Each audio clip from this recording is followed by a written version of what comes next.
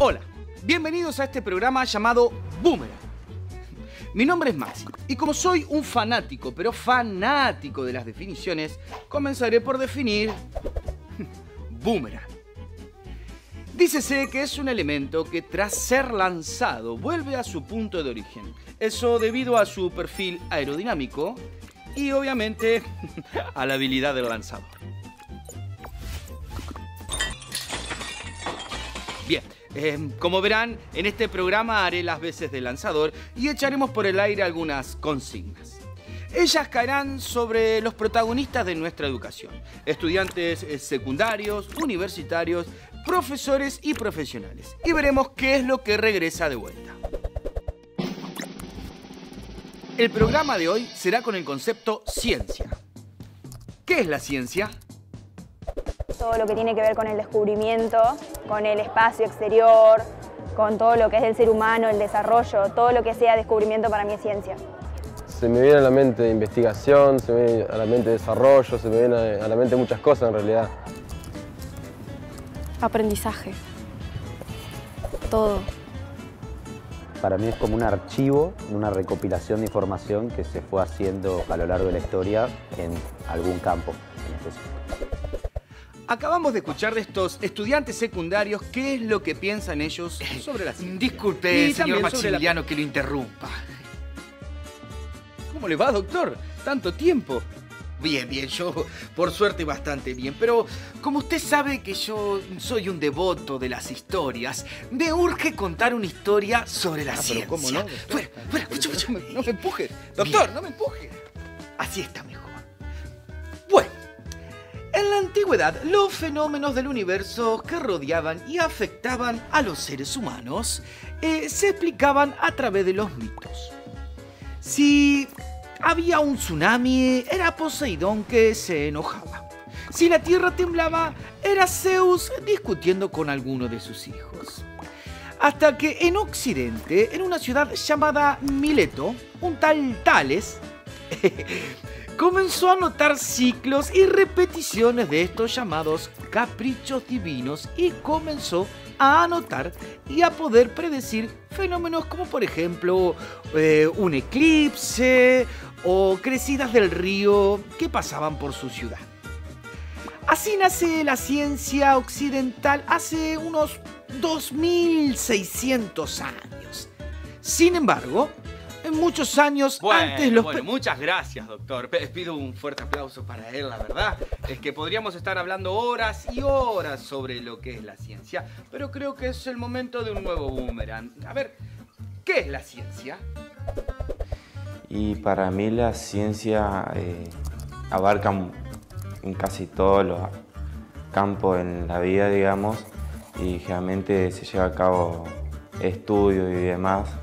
Y, y a mí se me viene a la cabeza, digamos, laboratorio, por ejemplo. Aprender más sobre cosas que sabemos, pero con otras palabras y con fundamento científico. Bueno, la ciencia estudia cualquier tipo de campo, ya sea químico, matemática o bueno, también las ciencias sociales, que nos permite adquirir distintos conocimientos que cada uno opta, digamos, para después llevar a cabo en su vida profesional o en la vida cotidiana en sí, digamos. La ciencia recrea el universo eh, en escala humana, para utilizarlo en nuestra vida cotidiana, claro. Y porque como dice este libro del siglo XIX, de la cultura hermética llamado Kybalion, como es arriba, es abajo. Y mientras meditan sobre este concepto, me parece que es un buen momento para ir a otro boomerang. Si bien eh, la ciencia por ahí se interpreta como la experimentación en ciertas áreas, como por ejemplo matemática, física, química o biología, eh, se puede encontrar en todos los ámbitos eh, de la vida. Bueno, la ciencia está en todos lados. O sea, eh, si nosotros la sabemos ver, nos vamos a encontrar que se encuentra desde el punto de vista de los productos de limpieza eh, que nosotros tenemos en nuestra casa, en la facultad, hasta los alimentos que comemos, hasta todo lo que se encuentra en la atmósfera está relacionado con el tema ciencia.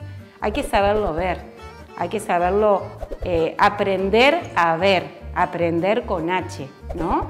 Eh, todo lo que nos vincula se refiere a la ciencia. A través de la ciencia podemos eh, imitar distintos mecanismos con lo que funciona el universo y llevarlos a nuestra vida diaria, claro. Pero también podemos decodificar cada acción cotidiana para que nos ayude a comprender el cosmos. Desde que nos levantamos a la mañana estamos realizando actos que están influenciados por las fuerzas que mantienen funcionando al universo. Y eso ocurre en nuestro living y también en la galaxia de Orión, a miles de años luz. Y así llegamos a un nuevo boomerang. ¿Dónde aparece la ciencia en nuestra vida cotidiana? La ciencia para mí la puedes encontrar en todos los lugares y todos los ambientes a los que vas eh, cruzando en la vida diaria. No solamente en un libro o un lugar académico, sino que forma parte de toda la vida cotidiana. Lo localizo mucho en el tema de la cocina, porque cuando nosotros cocinamos, cuando nosotros eh, hacemos un tipo de producto, siempre aplicamos ciencia, por ejemplo. Yo creo que la ciencia lo es todo, está en todos lados y quizá antes no lo veía, pero al estudiar la carrera te das cuenta de que está en todos los campos, aunque uno no quiera. La ciencia observa el cosmos y la naturaleza. Los estudia ambos, los intenta comprender. Quienes trabajan con la ciencia anotan sus ciclos, los convierten en números y después en ecuaciones. Luego ellos construyen principios y leyes que pueden usar para nuestra evolución humana para hacernos la vida más fácil o más complicada. Ahora sí, vamos a nuestro último boomerang. ¿Qué piensan de la ciencia los que la enseñan y trabajan con ella? Que se den cuenta que hacer ciencia no es solamente estar en un laboratorio como estamos nosotros, que es parte, pero que también el hacer ciencia eh, involucra a podernos vincular con personas y poderle transmitir el conocimiento para que tenga una bajada, para que tenga un aprendizaje y para que se pueda llevar a cabo en la vida diaria, como es lo que nosotros queremos transmitir a los alumnos y en la parte de investigación. La ciencia prácticamente se encuentra en cualquier cosa de la vida cotidiana, cualquier, desde lo más simple hasta lo más complejo que hagas en el día. Eh, la ciencia está en todos lados, cualquier cosa se puede explicar con un fenómeno científico. Y así llegamos al final de nuestro boomerang de hoy. Pero antes de terminar, tomen lápiz y papel porque quiero dejarles una frase del astrofísico contemporáneo Neil deGrasse Tyson, que dice algo así. Lo bueno de la ciencia es que es cierta, créase o no. Bien, ahora sí, nos vemos en el próximo Boomerang.